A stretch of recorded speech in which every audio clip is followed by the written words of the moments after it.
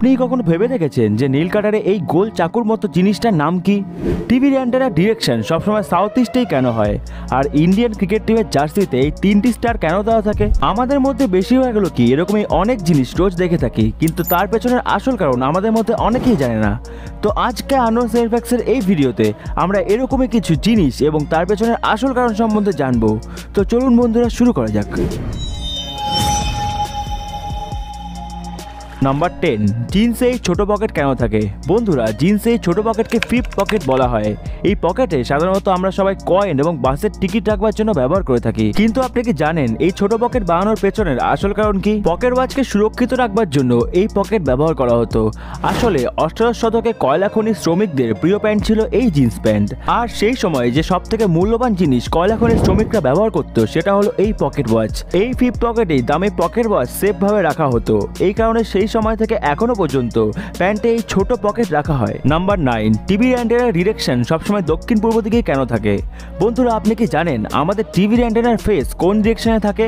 আসলে টিভি অ্যান্টেনার ডিরেকশন সবসময় সাউথ ইস্টেই থাকে। এই টিভি অ্যান্টেনাই স্যাটেলাইট থেকে সিগন্যাল গ্রহণ করে এবং সেটাকে ভিডিও আকারে আমাদের দেখায়। মহাকাশে থাকা স্যাটেলাইটগুলি সাউথ ইস্ট ডিরেকশনেই তাদের সিগন্যালকে পাঠায় এবং পৃথিবীর সাথে নিজেরা সামঞ্জস্য রেখে ঘুরতে থাকে। যেহেতু সিগন্যালটি সাউথ ইস্ট ডিরেকশন থেকে আসে, সেই কারণে টিভি অ্যান্টেনার ফেস সবসময় সাউথ ইস্ট ডিরেকশনেই থাকে। নাম্বার এইট কিবোর্ডের অ্যালফাবেটগুলির অবস্থান এরকম এলোমেলো কেন থাকে?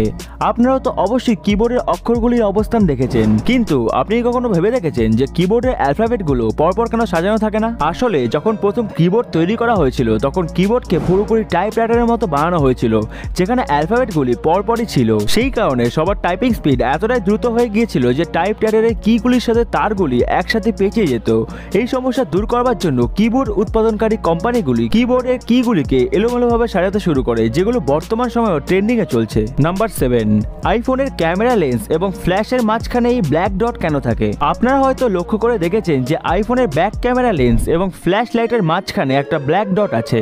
আপনি কখনো ভেবে দেখেছেন এটা কেন থাকে? আসলে এটা একটা মাইক্রোফোন যেটা ভিডিও রেকর্ডিং করবার সময় ব্যাকগ্রাউন্ডের আওয়াজগুলোকে কমিয়ে দেয় এবং ভালোভাবে সাউন্ড রেকর্ড করতে সাহায্য করে। নাম্বার সিক্স জলের বোতলের ওপর এক্সপায়ারি ডেট কেন দেওয়া থাকে? আপনারা হয়তো অনেকেই জানেন যে জল কখনোই নষ্ট হয় না, কিন্তু জলের বোতলের উপরে এরকম এক্সপায়ারি ডেট কেন দেওয়া থাকে? আসলে জল যে বোতলের মধ্যে স্টোর করা হয়, সেই বোতলটি যেই ম্যাটেরিয়াল দিয়ে তৈরি করা হয় সেটার এক্সপায়ারি ডেট সেই বোতলের উপর দেওয়া থাকে। এই বোতলটি ওই ডেটটার পরে ক্ষয়ীভূত হতে শুরু করে এবং নষ্ট হয়ে যায়, ফলে জলও দূষিত হতে শুরু করে।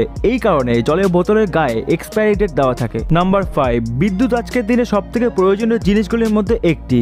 এই কারণে এই মূল্যবান বিদ্যুৎকে স্টোর করবার জন্য স্টোরেজও তৈরি করা হয়েছে, এবং এটা খুবই ব্যয়বহুল। কিন্তু আপনি কি জানেন, নিকোলা টেসলা এমন একটা সিস্টেম বানিয়েছিল, যার সাহায্যে সবাই ফ্রিতে ইলেকট্রিসিটি পাওয়ার কথা ছিল। কিন্তু বড় বড় বিদ্যুৎ উৎপাদনকারী কোম্পানি এবং বড় বড় পলিটিশিয়ানরা নিজেদের স্বার্থের জন্য এই প্রজেক্টটাকে শেষ করে দেয়। সেই কারণেই আজও সেই ইলেকট্রিসিটি তৈরির ফর্মুলাটা সিক্রেট আছে। নাম্বার ফোর ইয়ারফোনে এই এক্সট্রা হোল কেন থাকে? হেডফোনের এই হোলগুলো তো স্পিকারের কাজ করে, এটা তো আমরা সকলেই জানি। কিন্তু এই বাকি এক্সট্রা হোলের কাজ কি? আসলে এই এক্সট্রা হোলগুলো হেডফোনের ভেতরের হাওয়াকে বাইরে পাস করবার জন্য ব্যবহার করা হয়, যা হেডফোনের স্পিকারের সাউন্ডকে আরও ক্লিয়ার করে দেয় এবং সাউন্ডের কোয়ালিটি আরও ভালো হয়ে যায়। নাম্বার থ্রি ল্যাপটপের চার্জারে এই গোল মতো জিনিসটি কেন দেওয়া থাকে? ল্যাপটপের চার্জারে এই গোল মতো সিলিন্ড্রিক্যাল জিনিসটিকে ফ্যারাইট বেড বলা হয়। এই ফ্যারাইট বেডটিকে আপনি বিভিন্ন জায়গায় দেখে থাকবেন। আসলে ল্যাপটপ এবং ডেস্কটপের সব ইউনিট রেডিও ফ্রিকোয়েন্সিতে কাজ করে আর এই ফ্রিকোয়েন্সি মাঝে মাঝে ইন্টারফিয়ারেন্স তৈরি করে। এই ফ্যারাইট বেডটির মধ্যে ম্যাগনেটিক আয়রন অক্সাইড থাকে, যা রেডিও ফ্রিকোয়েন্সিতে ইন্টারফিয়ারেন্স তৈরি করতে দেয় না এবং কম্পিউটার খুব স্মুথলি চলতে পারে। নাম্বার টু ইন্ডিয়ান ক্রিকেট টিমের জার্সিতে এই তিনটি স্টার কেন থাকে?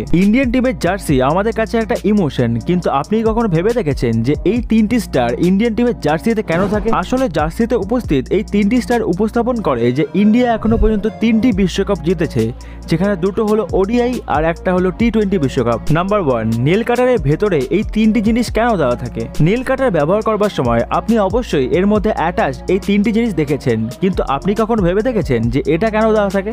আসলে নীল কাটারের এই গোলাকার চাকুর মতো জিনিসটি বোতল ওপেন করার জন্য ব্যবহার করা হয়। আজকের ভিডিওটা ভালো লাগলে অবশ্যই একটা লাইক করবেন এবং এরকমই ইন্টারেস্টিং ভিডিও সবার আগে দেখবার জন্য আনন্দ সাইনফ্যাক্স চ্যানেলটিকে সাবস্ক্রাইব করে পাশে থাকা বেল আইকনটিতে প্রেস করুন।